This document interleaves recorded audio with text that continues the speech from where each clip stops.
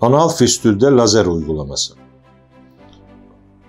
Fistüller hemen hemen her zaman bir apse ile başlar. Apselerin tedavisi cerrahi drenajdır. Her apse boşaltılır. Bunların yaklaşık %50'sinde fistül gelişir. Fistül vakalarında enfeksiyon varsa birinci aşamada seton dediğimiz işlemle apsenin kontrol altına alınması ve fistülün enfeksiyondan uzaklaştırılması önemlidir.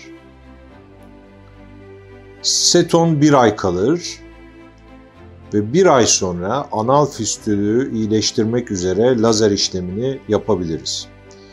Önce fistül traktısının içine bir nelaton sonda yerleştiriyoruz. Bu nelaton sondanın içinden fistül probu, lazer probu yerleştirilir.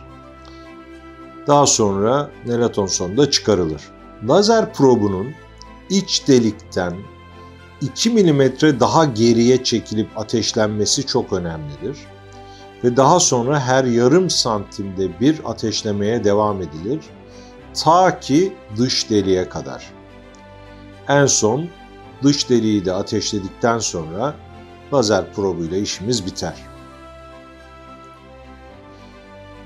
İç ağzın küretle temizlenmesi, oradaki nekrotik dokuların uzaklaştırılması ve arkasından sütüre edilmesi çok önemlidir. Enfeksiyon kaynağı böylelikle ortadan kaldırılmış olur. Dış deliği ise kürete edip açık bırakmak var olan sekresyonun dışarı akmasını sağlar.